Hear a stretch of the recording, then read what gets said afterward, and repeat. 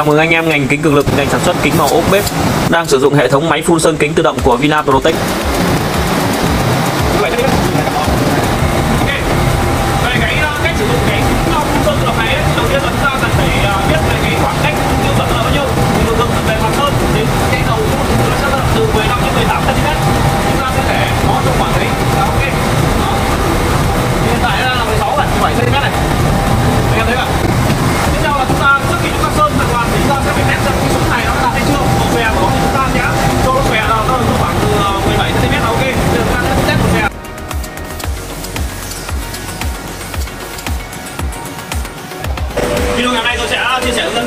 Cái ờ, cách để chúng ta có thể uh, sử dụng ờ, được cái đầu phun sương tự động này một cách nhuần nhuyễn.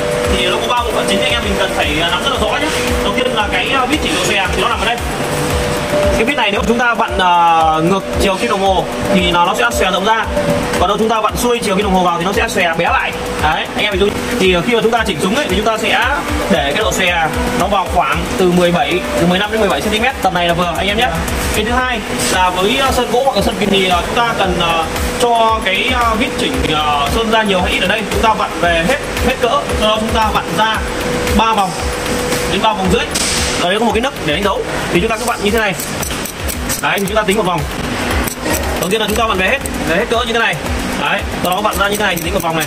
Đây một vòng thứ nhất này. Đây là vòng thứ hai này và đây là vòng thứ ba. Đấy thì xoáy nào vào đây là vòng thứ ba là ok là vừa đủ. Còn đâu cái điểm thứ ba rất là quan trọng nữa là cái ờ, cái lúc chỉnh gió đây là cái tiết lưu chỉnh à, chỉnh hơi. Thì nó sẽ quyết định cái việc là hơi sơn à, uh, ra mạnh hay là ra nhẹ. Thì cái này chúng ta cho cho ở mức trung bình thôi. Thì cái này là do cái kinh nghiệm và cảm nhận của anh em. Thì mình sẽ đặt cái tay xuống đây và chúng ta sẽ chỉnh chỉnh cái phần à, uh, vít chỉnh gió. Khi nào mà nó ở mức vừa phải trung bình không uh, mạnh quá không nhẹ quá thì nó ok. Đó. nếu mà chúng ta vặn uh, xuôi chiều cái đồng hồ thì nó sẽ nhỏ lại và chúng ta vặn ngược chiều cái đồng hồ thì nó sẽ to ra và nếu như chúng ta có một cái hệ thống đo áp hơi thì chúng ta sẽ chỉnh ở mức khoảng 3 kg và kg rưỡi.